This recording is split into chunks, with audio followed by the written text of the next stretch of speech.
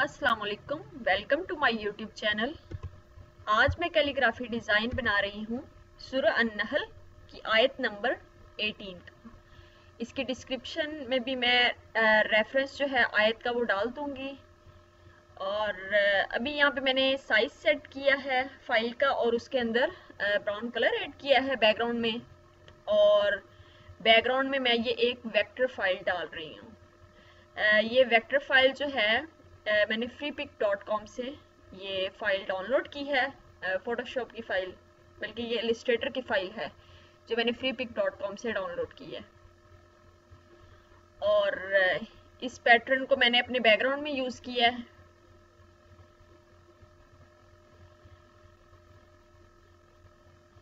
इसकी यहाँ पे मैं सिलेक्शन कर रही हूँ और क्रॉप करके एक्स्ट्रा जो पार्ट था वो मैंने रिमूव कर दिया है। यहाँ पे अब मैं इसमें कलर्स ऐड करूँगी। कलर सिंपल नहीं यहाँ पे मैं ग्रेडियंट ऐड कर रही हूँ।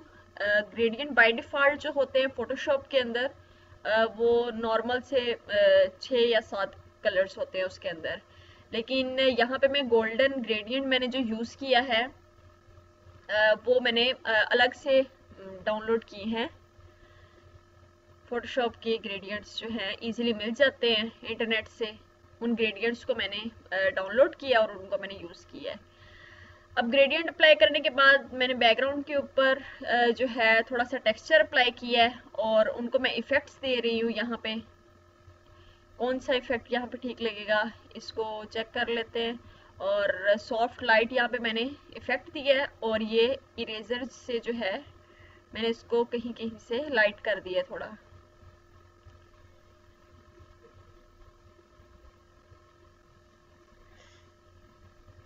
अब जो मेरा पैटर्न था, उसको मैंने चेक करके देख लिया है कि साइज़ उसका किस तरीके से ठीक लगेगा। और यहाँ पे मैं इसकी पीएसडी फ़ाइल एक दफ़ा सेव कर रही हूँ। देन जो मैं चेंजेस करती रहूँगी साथ साथ मैं उसको सेव करती जाऊँगी।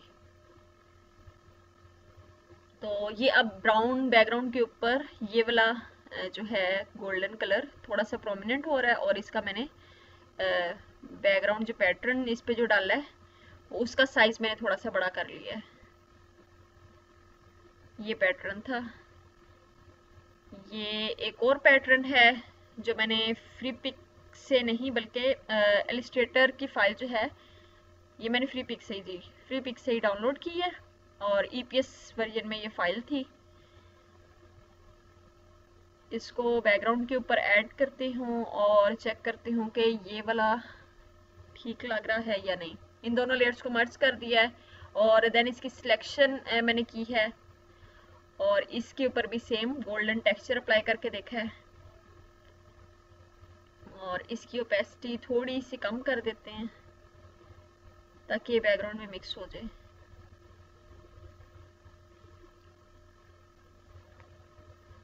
ओके अब यहाँ पे मैंने एक रेक्टेंगुलर बॉक्स जो है, उसकी शेप ड्रॉ की है और इसको सेंटर में कर दिया है। सेंटर में करने के बाद देन इसके ऊपर कलर्स चेक कर लेते हैं कि कौन सा कलर जो है वो मुझे चाहिए। फिर उसके बाद मैंने इसी लेयर के ऊपर एक और रेक्टेंगुलर शेप जो है वो मैंने क्रिएट की है और उसका कलर जो है वो मैंने ब्लू रखा है।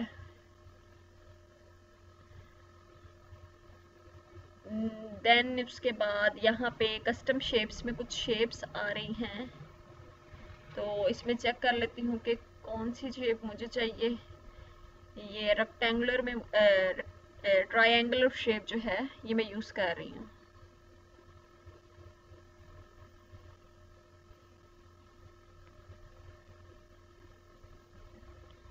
इसी लेयर की मैंने एक कॉपी बनाई है और सेम ड्रैग एंड ड्रॉप करके जो है, मैंने बॉटम वाली साइड पे भी वही शेप जो है इंसर्ट कर दी है।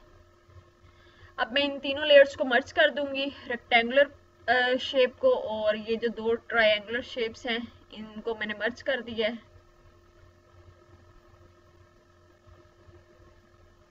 बल्कि भी मर्ज नहीं करूँगी, मैं इससे पहले जो है ढूंढ लेती हूँ। मुझे एक रॉड टाइप शेप चाहिए। सिलेंड्रिकल शेप जो होती है। ये उस टाइप की शेप है। कैप्सूल टाइप शेप है एक।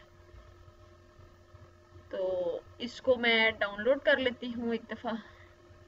और देन इसको मैंने इलिस्ट्रेटर में खोल लिया है। यहाँ पे मैं इसको, इस इमेज को ट्रेस करूँगी। मुझे दरमियान में से सिर्फ़ इसकी रॉड शेप चाहिए। तो इसको ट्रेस कर लिया है मैंने एडजस्टमेंट करके। और देन एक्स्ट्रा पार्ट इसमें से रिमूव कर दिया है और जो इसमें से जो आईज थी, वो भी मैं रिमूव करूँगी अभी। क्योंकि मुझे सिर्फ़ सिलेंड्रिकल शेप चाहिए रॉड शेप तो ये ब्रश के मदद से मैंने जो है ये भी रिमूव कर दिया है। इसकी जो आइज़ वाला जो पोर्शन था, उसको फुल को ब्लैक कर दिया है। ओके अब ये सेंटर में जो है मैंने एक कैप्सूल टाइप जो है शेप इंसर्ट की है। और इसकी सिलेक्शन की है सिलेक्शन करने के बाद वही कलर दे दिया जो रेक्टेंगुलर का कलर था। और ये जो है ये भी एक एलिस्ट्रेटर की फ़ाइल है जो कि फ्री पिक से मैंने डाउनलोड की है। इसके ऊपर लिखा हुआ है मंडाला टू वन मतलब ये, इसको हम कहते हैं कि मंडाला पैटर्न इस नेम से ये फ्री पिक पे सर्च किया जा सकता है मंडाला पैटर्न के नाम से।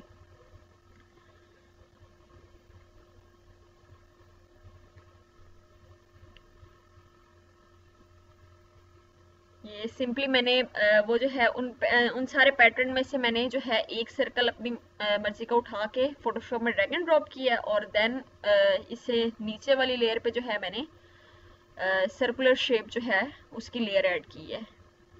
और इसमें अब मैं हम्म, थोड़े से इफेक्ट्स अप्लाई करके देख रही हूँ कौन सा ठीक लगेगा। और देन इस ब्लैक कलर में ये जो पैटर्न था, इसका कलर मैंने चेंज किया है और इसको भी गोल्डन कलर दे दिया है। और ये जो पूरी शेप थी इसको मैंने एक ग्रुप बना दिया है और इसी ग्रुप की मैंने एक कॉपी बना ली है। कंट्रोल जे प्रेस करके। अब इसका जो सेंटर पार्ट है कैप्सूल का इसमें मैंने जो है टेक्सचर अप्लाई करना चाह रही हूँ। तो वो टेक्सचर मैंने ऐड की है और इरेजर को यूज़ करते हुए जो एक्स्ट्रा पार्ट तो नहीं है इसके अंदर, लेकिन जो डार्क सा पार्ट था वो मैंने थोड़ा सा लाइट कर दिया है।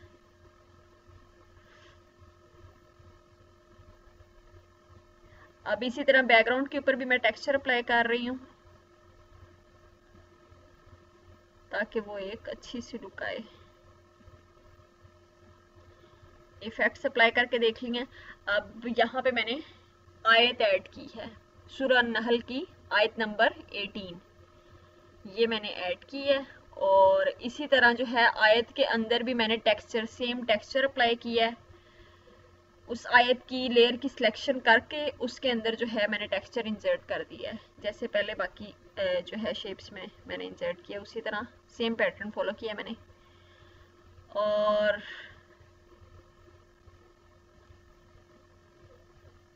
देन इसके बाद मैं क्या कर रही हूँ कि मैंने जो थी सबसे नीचे वाली लेयर जो सबसे बैकग्राउंड पे लगी हुई है बेस जो है, मैंने उसकी एक कॉपी बनाई है और कॉपी बनाने के बाद जो है मैंने उस जो है लास्ट वाली बॉटम वाली जो लेयर थी, उसको मैंने कॉपी करने के बाद जो है कैप्सूल की शेप में मैंने इंसर्ट किया उस उस तस्वीर को और देन मैं चाह रही थी कि कैप्सूल के इर्द गिर्द वही आउटलाइन बन जाए।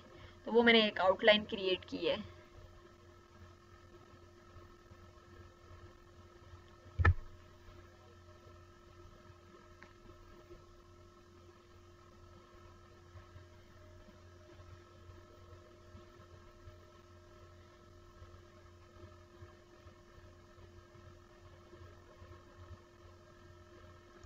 सेम इसी तरह बैकग्राउंड जो था सबसे बेस पे जो मेरा बैकग्राउंड है, उसकी मैंने कॉपी की है कंट्रोल जे प्रेस करके उस लेयर की कॉपी की है और देन उसको मैंने एक सेंटर वाली जो मेरी रेक्टेंगुलर शेप है, जो ब्लू में है, उस शेप के अंदर मैंने उस जो है तस्वीर को बेस वाली तस्वीर को इंसर्ट कर दिया है और देन उसकी मैंने आउटलाइन क्रिएट की है एक। यहाँ पे मे भी थोड़ी सी वीडियो फास्ट लग रही है, लेकिन जो है इसको पास कर करके स्टेप्स को फॉलो किया जा सकता है। तो ये मैंने थोड़ी सी फास्ट करके वीडियो बनाई है। तो जहाँ पे क्यूरीज हो, वहाँ पे कमेंट सेक्शन में पोस्ट की जा सकती हैं। मैं रिप्लाई कर दूँगी।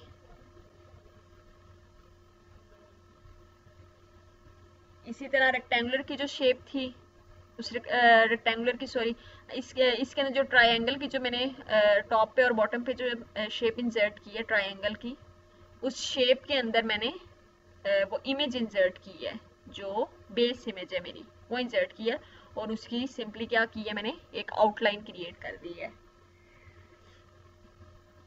ओके अब ये मैंने एक और पैटर्न उठाया है, अपनी इलिस्ट्रेटर की फ़ाइल से और मैं इसके ये जो रेक्टेंगुलर बना हुआ है ब्लू में, इसके चारों कोनों पे मैं ये शेप इंसर्ट करना चाह रही हूँ।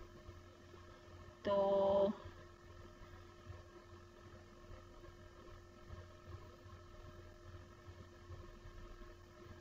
इसका कलर मैंने जो है,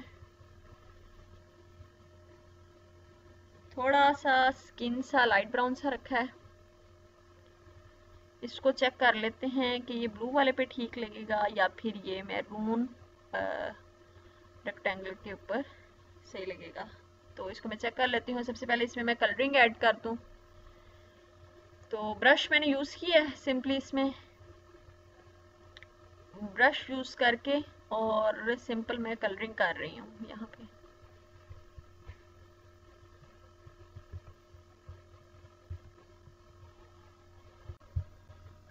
ओके, अब मैंने इसमें जो है कॉपी सिंपल कर रही हूँ मैं लेयर्स को और ड्रैग एंड ड्रॉप कर रही हूँ, जहाँ पे मुझे ये शेप्स चाहिए। तो इसको ड्रैग एंड ड्रॉप करने के बाद मैंने जो है रेक्टेंगुलर की सिलेक्शन की है, जो मेरा मैरून में था रेक्टेंगल उसकी सिलेक्शन की है और देन वो जो तीन से चार शेप्स थी मैंने उनको रेक्टेंगल की शेप में इंसर्ट कर दिया है। तो यहाँ पे मैं चेक कर लेती हूँ कि क्या चीज़ ऐड करनी है। तो थोड़े से यहाँ पे चीज़ें ऐड करूँगी मैं।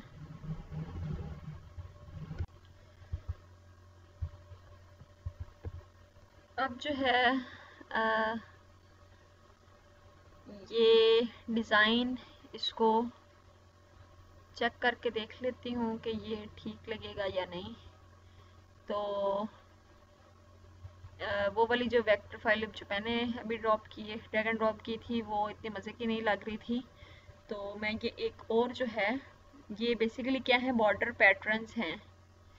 बॉर्डर पैटर्न के नाम से जो है, इसको सर्च किया है मैंने फ्री पिक पे। तो ये फ्री पिक से मैंने इलिस्ट्रेटर की फाइल्स ली हैं। तो उसमें इजीली पैटर्न्स मिल जाते हैं। जो उसमें से अच्छा लगे वो डाउनलोड कर सकते हैं। तो इन बॉर्डर पैटर्न्स को मैं बॉर्डर्स पे ऐड कर रही हूँ इस रेक्टेंगल के। और देन इसको चेक कर लेती हूँ कि कहाँ पे ठीक लगेगा ये।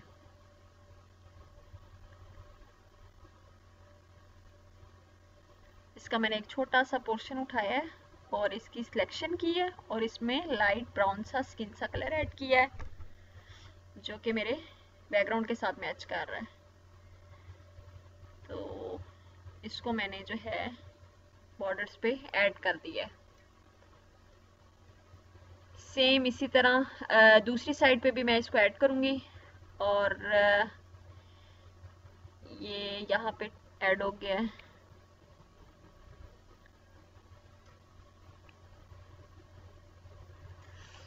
मैं लेयर्स को यहाँ पे कुछ भी नहीं कर रही सिर्फ़ मैनेज कर रही हूँ जिन ले, जो लेयर्स हैं जिनका ग्रुप बन रहा है उनका ग्रुप बना रही हूँ और जहाँ पे साइज़ सेट करने की ज़रूरत है वहाँ पे साइज़ थोड़ा सेट कर रही हूँ।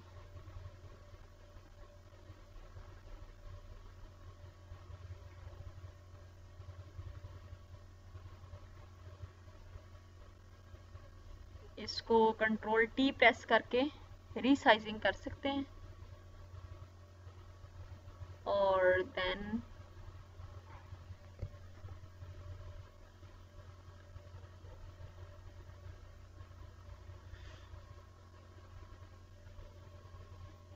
hmm, ये वैसे बॉर्डर इतना बहुत मज़े का नहीं लग रहा कुछ, लेकिन चेक करके देख लेते हैं कि कैसा लगेगा ये।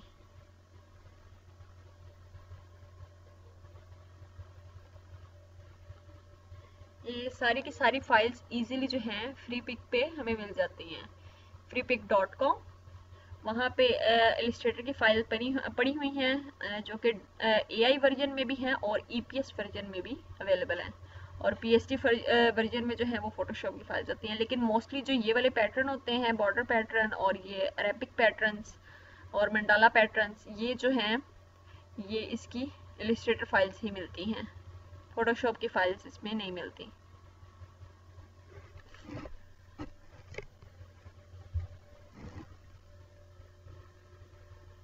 तो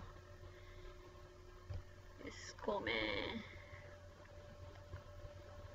चेक कर लेती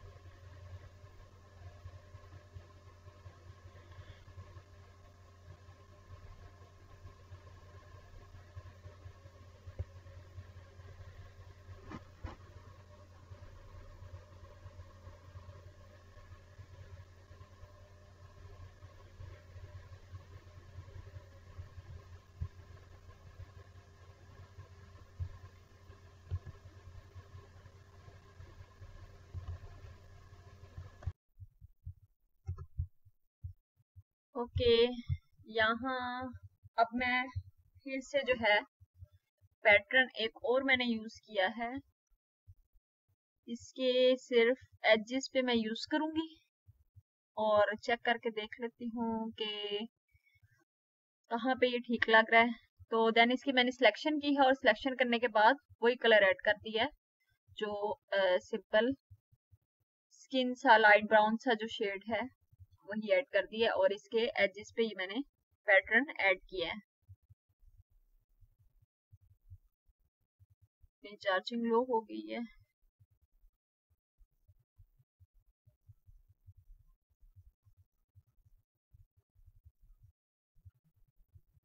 सिंपली कंट्रोल जे प्रेस करके मैंने लेयर्स की कॉपी की है। एक लेयर की कॉपी की है और उसको ड्रैग एंड ड्रॉप करती गई हूँ चारों साइडों पे। अब, यहाँ पे मैंने क्या किया है? फिर से टेक्सचर अप्लाई कर रही हूँ। टेक्सचर जो ब्लू वाला पार्ट था हमारा, वहाँ पे जो है टेक्सचर रहता था अभी, वहाँ पे अप्लाई नहीं किया था तो मैंने वहाँ पे टेक्सचर अप्लाई कर दिया है। और ये जो टेक्सचर है, ये एक हाई क्वालिटी इमेज है। इसे हम वॉल टेक्सचर या ग्रूंज टेक्सचर के नाम से इजीली हम सर्च कर सकते हैं। अनसप्लैश जो मैंने वेबसाइट बताई है ऑलरेडी अपनी पिछली वीडियो में। ये क्या है? ये एक बेसिकली पैटर्न है। ये मैंने खुद से बनाया है। ये एक और डिज़ाइन था। उसमें मैंने ये पैटर्न खुद से बनाया था। और उसमें कलरिंग देन मैंने ऐड की थी। और ये उस पैटर्न को मैं यूज़ कर रही हूँ यहाँ पे।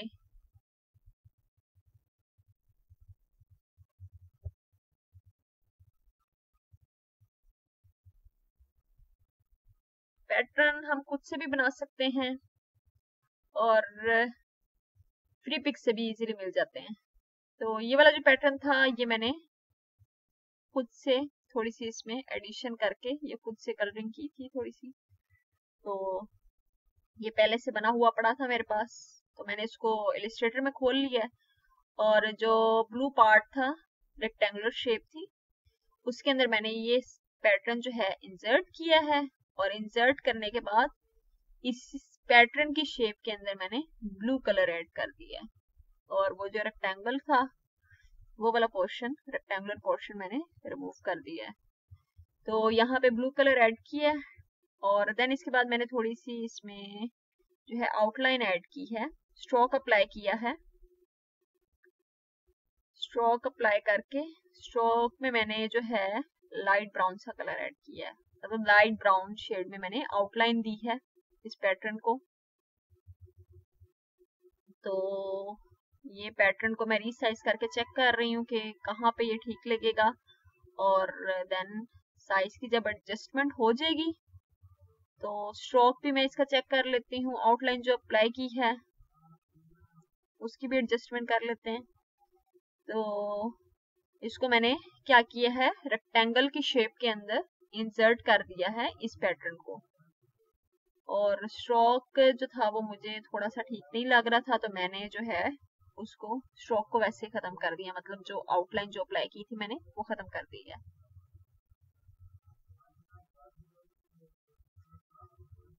ओके okay, अब मैं लेयर्स को थोड़ा चेक कर लूँ और इनकी ग्रुपिंग बना रही हूँ बेसिकली ताकि चीज़ें समझ आने में आसानी हो जाए।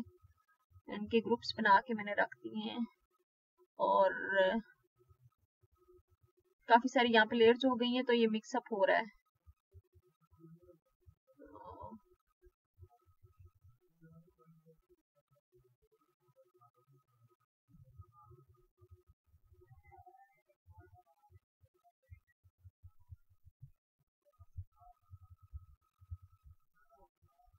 ओके अब मैंने क्या किया है, जो ट्रायंगल शेप थी, उसकी मैंने सिलेक्शन की है और मैं चाह रही हूँ जो ट्रायंगल शेप है, उसके अंदर भी सेम यही पैटर्न जो है इंसर्ट हो जाए, जो मैंने अभी रेक्टेंगल के अंदर ऐड किया है। तो वो मुझे जो है इतना मज़े का नहीं लग रहा था तो मैंने उसको स्किप कर दिया उस पार्ट को। और अब ये क्या है, ये भी एक पैटर्न है। अरेबिक पैटर्न जो कि मैंने फ्री पिक से डाउनलोड किया है। इलिस्ट्रेटर की फ़ाइल है। इसमें एडिटिंग भी इजीली हो जाती है और यहाँ पे कलर भी चेंज कर सकते हैं। तो मैंने बेसिकली क्या किया है, वो जो एक पार्ट था, वो बहुत छोटा था तो मैंने वो जो एक पोर्शन था, उसकी कॉपीज बना के थोड़ा सा बड़ा पैटर्न बना लिया है। और इस पूरे को मैं ड्रैग एंड ड्रॉप करके ले जाऊँगी अपनी फोटोशॉप की फ़ाइल में।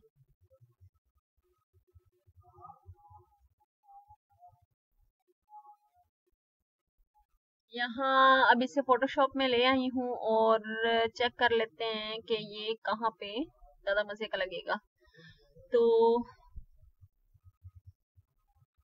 ऐड कर दिया आई थिंक सो ये बैकग्राउंड के ऊपर ठीक लगेगा बेस के ऊपर।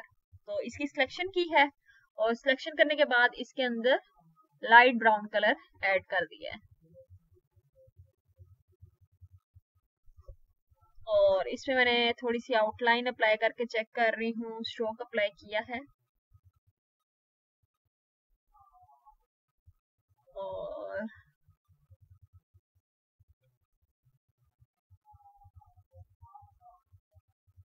अच्छा अब ये मैं क्या कर रही हूँ? बैकग्राउंड के ऊपर मैंने एक रेक्टेंगुलर शेप इंसर्ट की है। रेक्टेंगुलर शेप इंसर्ट करने के बाद इसमें कलर्स चेक कर लेती हूँ कि कौन सा कलर अच्छा लगेगा। तो वो कलर जो है वो ब्राउन टाइप सा है बैकग्राउंड है हमारा। तो मैंने फिर उसमें रेक्टेंगल में ब्राउन कलर ऐड कर दिया और उसको मैंने एज अ आउटलाइन जो है यूज़ करना चाह रही हूँ। बॉर्डर बॉर्डर्स पे जो है एक छोटी सी ब्रीक सी मतलब फ्रेम टाइप उसको मैं यूज़ कर रही हूँ। फ्रेम बनाया है एक ब्राउन कलर में।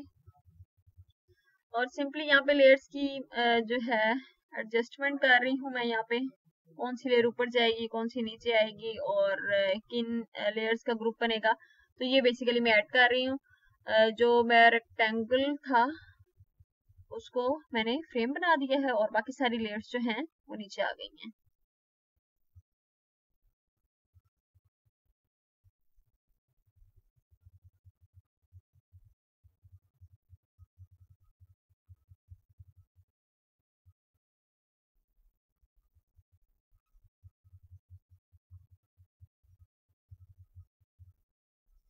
इसमें बनाते हुए ये चीज़ें जो है माइंड में रखनी बहुत ज़रूरी है कि एक एक चीज़ जो है हाई क्वालिटी में हो, ताकि प्रिंटिंग में आगे फिर कोई मसला ना आए।